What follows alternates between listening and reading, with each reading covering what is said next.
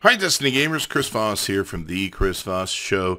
And it's September 25th. Time once again for Where is Xur? Now, he's located in the hangar of the tower, uh, where he normally is. Uh, there on the right, you usually find him. And here we have from the Agent of the Nine.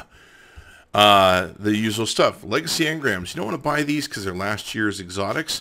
There's Ruin Wings you can take and get for your, I believe, Titan.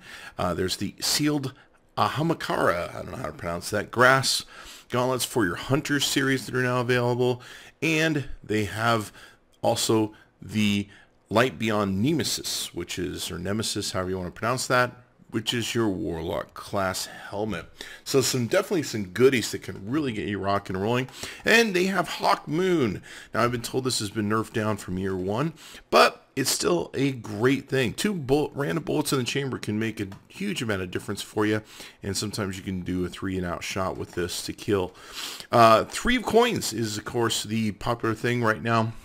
Everyone's buying them to get exotics to randomly drop. You buy them, play them each time you go up against a super boss, and hopefully you get an exotic drop. I've had some friends that have gotten it on average, sounds like about seven times that they use the uh, coins.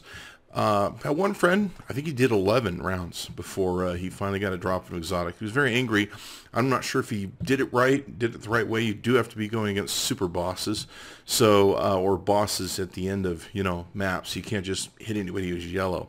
So there you go. That's where is. Be sure to give us a like, subscribe to us on YouTube. Hit that subscribe button. We'll see you next time.